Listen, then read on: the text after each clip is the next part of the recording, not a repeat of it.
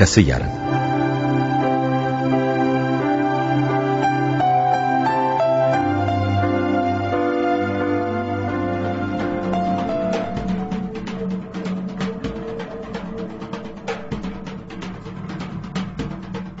Kırılan Testi ve Hukuk 11. Bölüm Yapım ve Yönetim Mehmet Köseoğlu Yazan Gerard de Villiers Radyoya uyarlayan Sinan Serindere.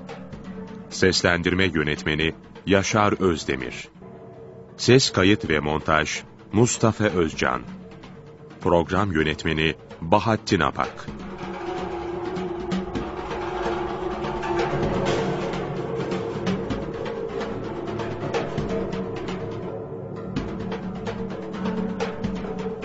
Hollywood'un ünlü sinema yıldızı malikanesinin havuzunda yedi hizmetçisiyle birlikte öldürülmüş halde bulunur.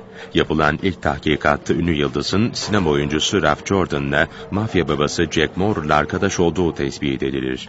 Olay yerinde cinayete kullanıldığı sanılan bir tabanca bulunur. Tabancanın üzerinde sinema oyuncusunun baş harfleri yazılıdır. Ancak sinema oyuncusu evinin banyosunda ölü bulunur. Soruşturma yürüten polislerden cinayet masası dedektifi sinema oyuncusunun cinayetleri işledikten sonra vicdan azabından canına kıydığını söylerken bölge komiseri cinayetleri mafya babası Moror'un işlediğini ileri sürer. Bu ikinci tezden hareketle mafya babası Moror hakkında geniş bir soruşturma başlatılınca sinema oyuncusunun intihar etmeyip öldürüldüğü anlaşılır. Fakat soruşturma yürütenlerden komiser Maken, mafya tarafından rüşvetle satın alınmış bir polis şefidir. Komiser Maken, mafyaya Coleman adında bir kızın kendisi aleyhine şahitlik yapacağını söyleyerek kızın adresini verir. Mafya kızın öldürülmesi için iki kişiyi görevlendirir. Bu gangsterlerden Pete kıza aşık olunca onu öldürmez. Bunun üzerine mafya koruma altına alınan gangster Pete'nin peşine düşer.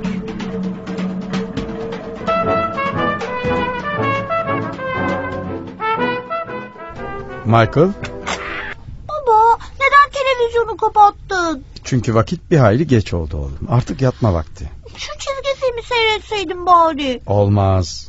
Annenle büyük annen birazdan eve dönerler. Seni uyumamış görürlerse çok kızarlar. Hem uyumazsan yarın okula nasıl gideceksin?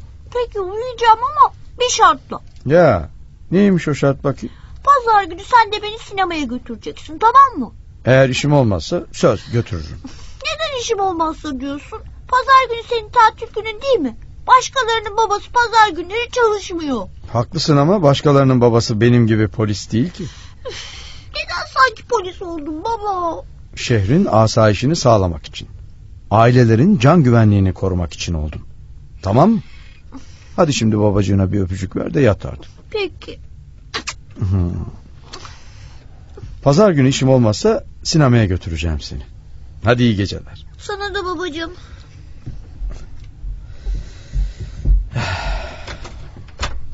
Polis olmak çok güç. İnsan doğru dürüst ailesiyle ilgilenemiyor. Ah, karım gelinceye kadar biraz televizyon seyredeyim. Merhaba komiser O'Brien. Ne? Sen de kimsin? Evime nasıl girdin şimdi? Ağır ol komiser. Elimdeki tabancayı görmedin galiba. Kahramanlık yapmaya gerek yok. Bu kadar kısa mesafeden hedefimi şaşırmam. Kimsin sen? Dur bakayım. Seni hatırlar gibiyim. Sen Vito Ferrari değil misin? Şu gangsterlerin pis işlerini gören fedai. Beni tanıdığına sevindim O'Brien. Evimde ne arıyorsun Ferrari?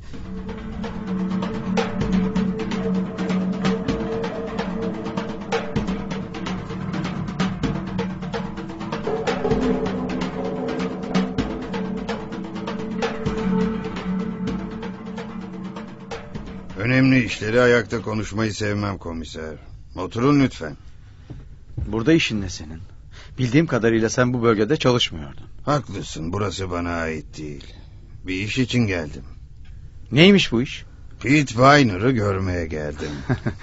İş dediğin bu öyle mi? Hiç şansın yok pis tetikçi. Pit ulaşılması imkansız bir yerde. Hiç kimse ulaşılması imkansız bir yerde olamaz komiser. Pete'in nerede olduğunu biliyorum. Senden ona nasıl ulaşacağımı bana söylemeni istiyorum. Sen kafayı yemiş olmalısın. Ben şerefli bir polisim. Senin gibi bir gangstere yardım edeceğime ölürüm daha iyi. Şimdi defol evimden Ferrari. Eğer hemen gitmezsen elindeki tabancaya rağmen seni ben kapı dışarı ederim. Bu kadar sert olma O'Brien. Ha oğlun nasıl? Birkaç saat önce onu sokakta oynarken gördüm. Bayağı büyümüş. Çok da güzel bir çocuk. Ne?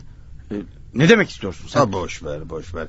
Tekrar Pete'e dönelim istersen. Bak pislik. Şöhretini biliyorum. Bugüne kadar çok adam temizlediğini duydum. Kurnaz olduğun için de aleyhinde hiç delil bulunamadı. Ama bu sefer emeline nail olamayacaksın. Göreceğiz.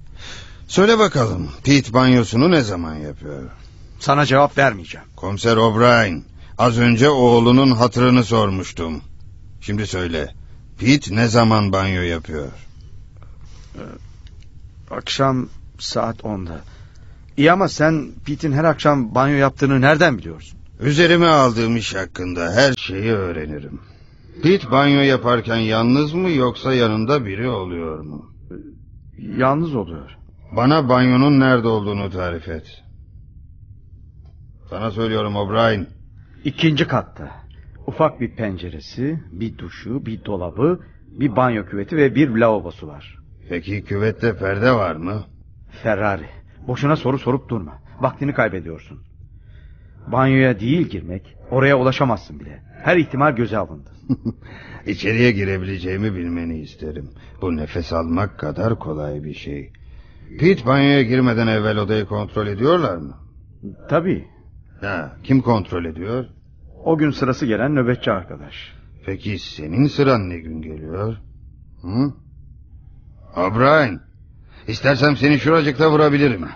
Ya da seni sadece bayıltır, sonra da gözlerinin önünde oğlunun ağzına bir kurşun sıkabilirim. Bunu yapacak kadar gaddar olduğumu da biliyorsun. Senin sıran hangi gün? Yarın akşam. Harika. İsteseydim bu kadar olmazdı. Şimdi beni iyi dinle. Yarın akşam Pete'in banyosu hazır olunca içerisini kontrol et. Fakat sakın ha küvetin içine bakma. Çünkü ben orada olacağım. Anlaşıldı mı? Delirmişsin sen. Banyoya giremezsin. Oraya görünmeden bir kedi bile giremez. Bütün yollar kontrol altında. Doğru ama ben yoldan gelmedim ki. Uçurumu tırmandım. Ne? Yalan söylüyorsun. Halatlar ve yardımcılar olmadan oraya tırmanamaz.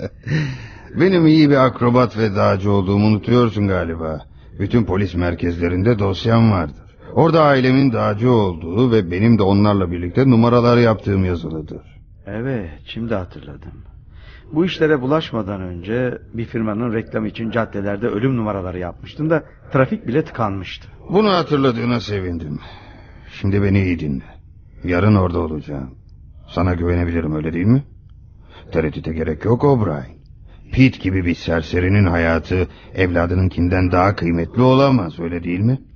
Oğlumu rahat bırak Ferrari. Ben de zaten başka bir şey istemiyorum. Yalnız sana güvenebilmek için bazı çarelere başvurmam gerektiğini söylüyorum. Şimdi tekrar soruyorum. Sana güvenebilir miyim? Evet. Güzel. Yarın akşam köşkte görüşürüz. Aa O'Brien. Şu anda kuzu gibi ne dersem yapıyorsun. Ama ben gittikten sonra fikrini değiştirebilirsin.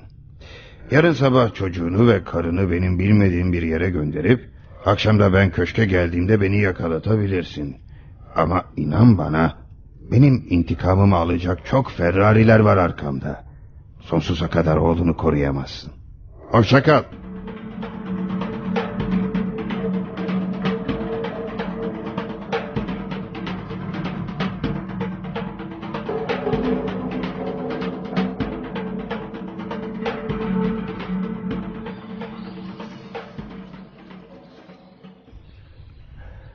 Komiser Pol'un benimle konuşmamız için size izin vermesine çok sevindim Koleman. Bizi niye bu orman içindeki köşke getirdiler Pete? Gerçekten tehlike altında mıyız? Hem de büyük bir tehlike altındayız Koleman. Ben ve Mo sizi öldürtmek için çeteden emir almıştık. Ama ben size kıyamadım. Çok güzelsiniz.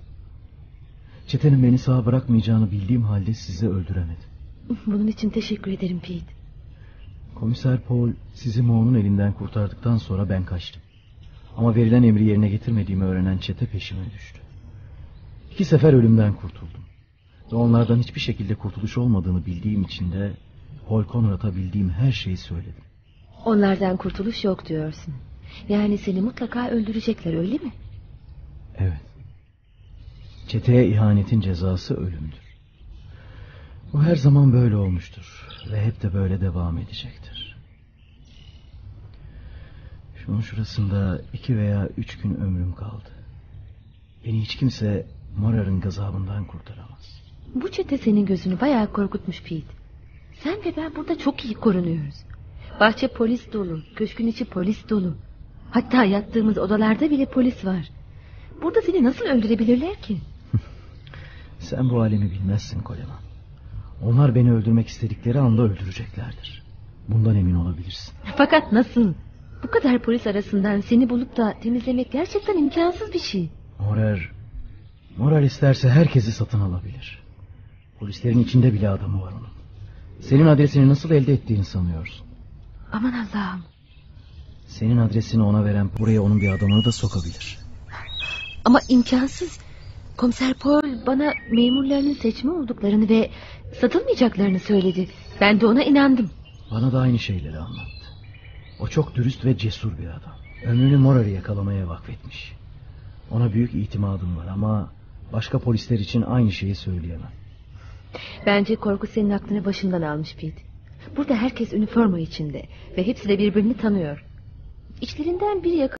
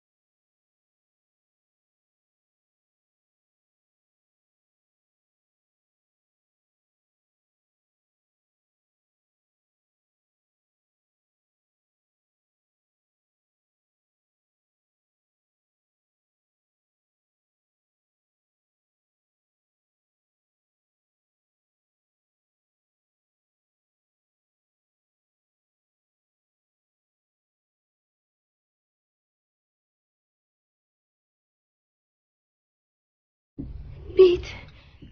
Pete!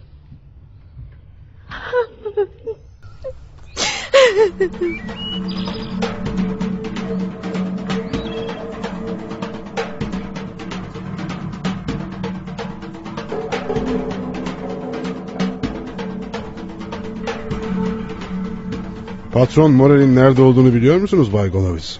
Hayır ama nerede olduğunu bilmek isterdim. Kendisi burada olsaydı ne yapardı çok merak ediyorum. Aynen sizin yapmak istediğinizi. Yani Pete'le kızın öldürülmelerini isterdi. Bütün bu belaları başımıza sen sardın Louis. Eğer adamların Koleman'ı öldürseydi şimdi hepimiz yatağımızda rahat uyuyor olacaktık. Haklısınız ama... Pete'in konuşması o kadar önemli değil. İftira atıyor der iddialarını çürütebiliriz. Ama hayatında sabıkası olmayan bir kızın tanıklığı kesin olarak çeteyi çökertir. Bu kızın konuşmasına mani olmazsak halimiz haraptır. Umarım da Ferrari ikisini de öldürmeyi başarsın. Tek dayanağımız o. Ama onun da bu işi yapacağını hiç sanmıyorum. Öyle söylemeyin. Ferrari bugüne kadar üstlendiği her işin altından kalkmıştır. Pit'le kızın kaldığı köşk öylesine sıkı korunuyormuş ki... ...neredeyse şehrin bütün polisleri oradaymış. Ferrari oraya nasıl girecek pek merak ediyorum. Girin.